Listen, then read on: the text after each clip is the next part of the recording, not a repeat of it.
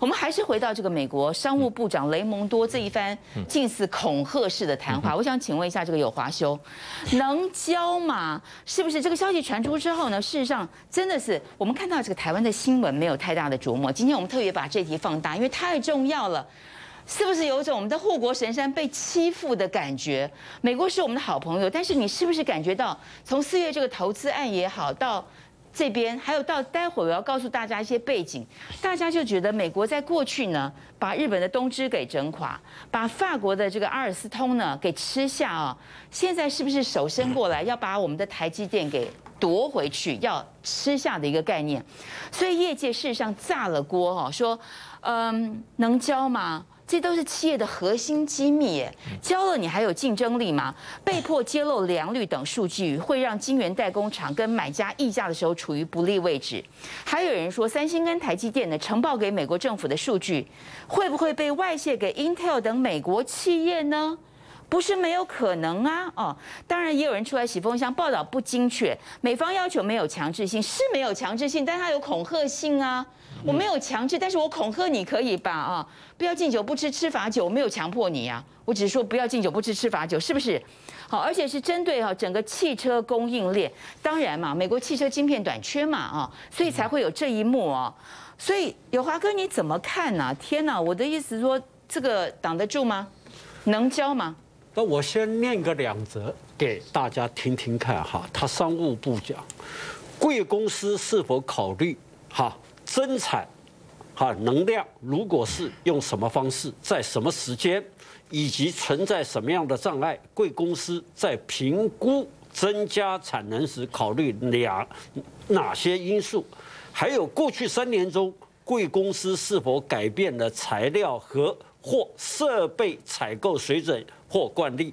未来六个月哪一项供应链改变可以大幅度？提升贵公司供应半导体产品的能力，各位哈，你不要相信说什么汽车晶片，这个涉及到了未来的 AI，还有未来的制药，好，更重要的是说，他只要把你的供应链给摸了清楚的话，未来好，未来好，未来。他就可以掌握到关键的能力。各位想想看，台积电在中国大陆布局跟美国布局，我帮谢大使，好，好，呃，补充一下，台积电过去是整个生产链过去，嗯，那中国大陆还要配合台积电，中国大陆是配合台积电哦。那台积电到美国去设厂，对不起，它是整个供应链过去是台积电配合美国。好，这两种不同的思维的状况之下，美国商务部他当然不会说他考虑啊怎么样啊如何如何，可是各位想想看，好，各位想想看，一九八四年广场协议以后，日本被美国整的。多么惨！从日本第一到漂流三十年，嗯，那从这些就是说，美国根本不会允许一个关键技术，它掌握在一家公司手上，除非这家公司是美国的公司。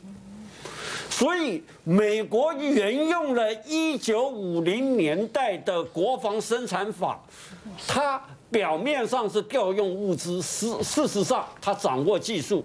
那除了这个以外，各位看看，美国要扩充军备的情况之下，他从太空、哈太空、陆地、水面、天空、水下，全部都需要这个东西。那换句话说，类似这种东西，美国一定会动手。那美国的动手，他当然不会用的非常的粗暴，他可以用各项法案卡你。有哈哥，我想请教一下啊，像这么大的一个压力哈，呃，挡得住吗？当然，对于这个彭博哈，我们看到彭博社是有对这个表示，根据他们的了解，现在企业不愿意回应啦。但你不可能不回应嘛，他已经限期四十五天，四十五天已经进入倒数阶段。然后你看到这个江启臣哈，他很注意到这一题，他就去质询这个王美花。王美花说呢，啊，这要看看企业考量的是什么资讯公开，什么资讯不公开啊？目前细节如何还不清楚。天呐，我们的政府不能够做台积电的后盾吗？秀芳，如果按照美国的十三个，哈，十三个问题的排列，他要你，哈，他要你完完全全完整的呈报，除了供应链，除了客户，你最重要，你未来你掌握什么样的技术，那是不是你要转转交给我美国公司？你要不要转交给我美国公司？那这样子的话，我们的护国神山。台湾人从李国鼎一路到现在，整个半导体产业是不是全部至少三分之二你拱手给美国？其实你在哈，在这个台积电到这个美国设厂这么大一个厂的时候，当时台大副校长就说嘛，第一步是请你来设厂，下一步就是台积电做技术转移了哈。对呀，所以技术转移在这里我们看到就已经是一个技术转移的概念。